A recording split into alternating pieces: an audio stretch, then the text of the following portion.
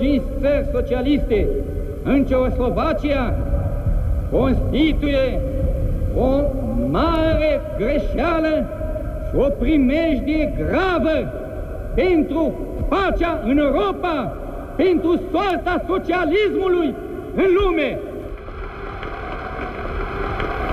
Este de neconceput în lumea de astăzi, când popoarele să ridică la luptă pentru a-și apăra independența națională, pentru egalitatea în drepturi, ca un stat socialist, ca state socialiste să încălce libertatea și independența unui alt stat.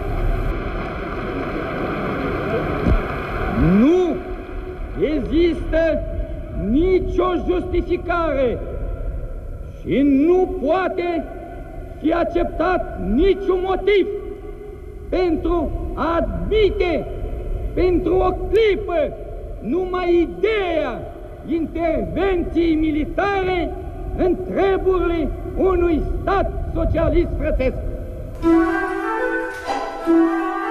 Pe 12 mai 1968, cehii și slovacii comemorau moartea compozitorului Smetana, în onoarea căruia se organiza festivalul Primăvara de la Praga. Curând, numele festivalului a ajuns să fie dat mișcării de susținere a intereselor naționale din Cehoslovacia. În aprilie 1968, Alexander Dubček lansase un program de reforme. Pe lângă libertatea mărită a presei și posibilitatea unei guvernări multipartinice, acest program includea planuri pentru o federalizare a Cehoslovaciei în două națiuni cu drepturi egale. Ambiția liderilor cehoslovaci de reformare a regimului comunist, cu obiectivul aproape nesăbuit în contextul politic al vremii, de organizarea de alegeri democratice, a stârnit reacția vehementă a Moscovei.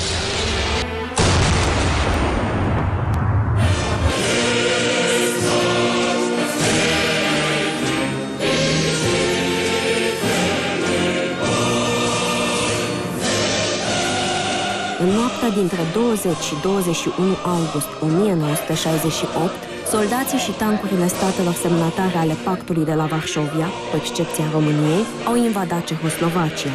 Era cea mai amplă operațiune militară de după al doilea război mondial.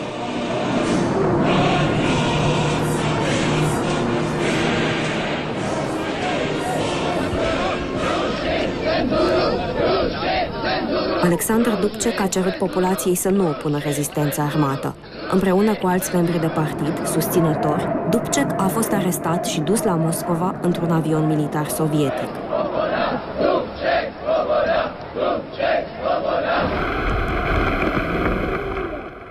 La aflarea veștii că Uniunea Sovietică și sateliții ei au invadat Cehoslovacia, reacția lui Nicolae Ceaușescu a fost spontană și promptă a condamnat-o în termeni energici într-o cuvântare din balconul Comitetului Central al Partidului Comunist Român, în fața unei mulțimi, pe cât de solidară cu el, pe atât de hotărâtă să apere țara, dacă tancurile sovietice ar fi trecut frontierele României. Delegația noastră de partid și de stat, care a vizitat săptămâna trecută Ceoslovacia, s-a convins că poporul ceoslovac că Partidul Comunist Slovac, clasa muncitoare ceoslovacă, bătrâni, femei, tineri, în unanimitate sprijină conducerea partidului și statului pentru a îndrepta stările de lucru din Ceoslovacia, pentru a asigura triumful socialismului în Ceoslovacia.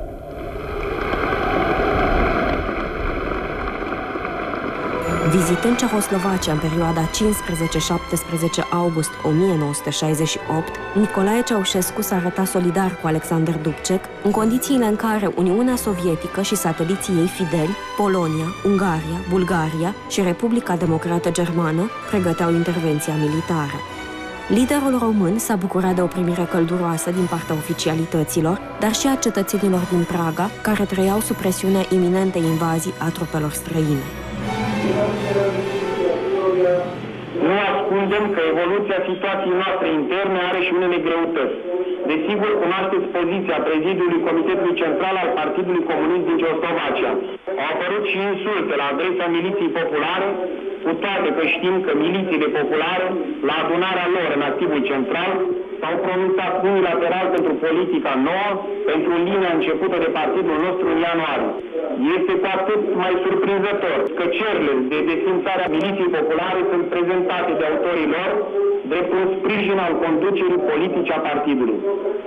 Asemenea manifestări și în special unele deformări influențează negativ procesul de democratizare, provoacă dezordine și neliniștește cetățenii orașului Praga. Oficial, scopul vizitei a fost semnarea tratatului de prietenie și asistență mutuală dintre România și Cehoslovacia, act prin el însuși semnificativ în acel context internațional. Convorbirile pe care le-am purtat în aceste zile, într-o atmosferă de deplină înțelegere și unitate frățească, cu Tovare și Dubcek, Zvoboda, Cernic și cu ceilalți conducători ai partidului și statului dumneavoastră, au scos în evidență hotărârea partidelor și țărilor noastre de a lărgi colaborarea dintre ele, de a întări și dezvolta pe toate planurile alianța și colaborarea română-slovacă. Analizând evenimentele din vara anului 1968, principala concluzie este că solidaritatea Partidului Comunist Român cu Partidul Comunist din Cehoslovacia nu viza doar respectarea unor norme ale relațiilor internaționale, opoziția față de hegemonismul sovietic, ci și politica de reforme a acestuia. O asemenea politică fusese inițiată și în România după declarația din aprilie 1964. În Cehoslovacia invadată de trupele pactului de la Varșovia, opoziția populației a fost exprimată prin numeroase acte de rezistență non-violentă. Invadatorilor li s-a refuzat orice ajutor sau asistență, inclusiv mâncare și apă. Au fost însă și manifestări extreme. Pe 16 ianuarie 1969, studentul Ian Palach și-a dat foc în piața Venceslav din Praga, în semn de protest față de noua suprimare a liberei exprimări.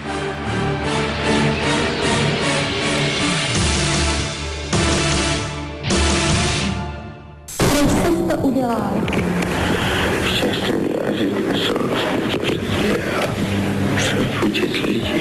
Vzbudit lidi si chtěl a vyjádřit nesouhlas s tím, co se děje. A s čím konkrétně? Zapálit se. Zapálit se. Dobře, a kdy toho, kdy přestanete, nebo za jakých podmínek přestanete? Když bude zrušena cenzura. A co ještě? zákaz rozširování zpráv.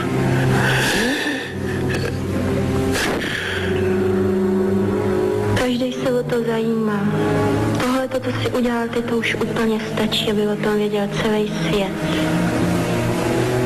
No, no buďme neskromní. No prostě musíme si o sobě moc myslet. Člověk musí bojovat proti tomu, na který právě stačí.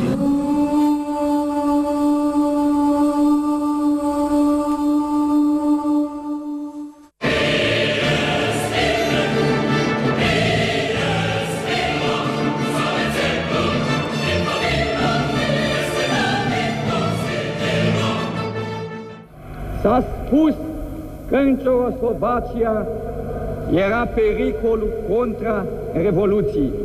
Se vor găsi poate mâine să spună de adunarea noastră că oglindea tendințe contra-revoluționare. Apoi răspundem tuturor că întregul popor român nu va admite nimănui să încalce teritoriul patriei noastre. Este incontestabil că Nicolae Ceaușescu a luat în considerare posibilitatea unei confruntări armate. Astfel, în timpul întâlnirii pe care a avut-o cu Tito la Vârșeț pe 24 august 1968, liderul român a evocat eventualitatea retragerii armatei române în Iugoslavia. În prezent se știe clar că în perioada 1968-1971 Moscova intenționa să intervină în România în mai multe momente distincte. Cu toate acestea, în momentul intrării în Praga a forțelor sovietice, est-germane, poloneze, ungare și bulgare, o astfel de operațiune nu mai putea fi aplicată României, întrucât țara noastră se bucura de o puternică susținere internațională. Prin politica sa de antagonism atât față de NATO cât și față de statele membre ale tratatului de la Varșovia, De Gaulle a acordat sprijin francez României pentru a deveni membră a Comunității Economice Europene, oferind nu numai arme pentru a reduce gradul de dependență față de Uniunea Sovietică, dar și ajutor în cazul în care ar fi fost invadate de trupele statelor membre ale tratatului de la Varșovia. De altfel, în discursul rostit la București, în fața Marei Adunări Naționale, în după amiaza de 15 mai 1968, președintele francez, Charles de Gaulle, încuraja naționalismul român, încercând astfel să-și facă parteneri în pactul de la Varșovia, care să ceară același lucru ca și el, suprimarea blocurilor militare din Europa.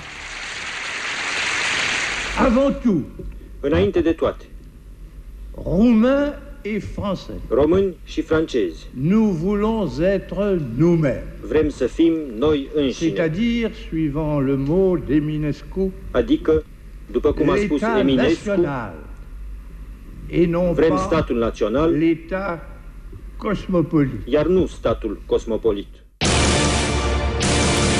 Invazia din Cehoslovacia a arătat țărilor din Europa de Est că orice atitudine pe care Kremlinul o va considera primejdioasă va avea ca efect venirea trupelor sovietice. Pentru a-și consolida poziția față de Moscova, Nicolae Ceaușescu a făcut referiri repetate la o posibilă vizită a președintelui Richard Nixon în România. Liderul american, iritat de refuzul Uniunii Sovietice de a interveni pentru găsirea unei formule de pace în Vietnam, a vizitat România în august 1969, pătrunzând astfel în sfera de hegemonie sovietică. Well, this is not my first visit to your country. It is the first visit of a President of the United States to Romania. The first state visit by an American president to a socialist country or to this region of the continent of Europe. Să trăiască pătănia romano-americano! Fără îndoială, liderul român și-a câștigat simpatia internațională pe 21 august 1968 prin refuzul de a se alătura trupelor pactului de la Varșovia care au invadat Cehoslovacia. A fost momentul de glorie al lui Nicolae Ceaușescu, efuziunea manifestată pe plan extern, cuprinzând și societatea românească. Fiți siguri, tovarăși, fiți siguri, cetățenii României, că niciodată nu vom trăda patria noastră, nu vom trăda interesele poporului nostru.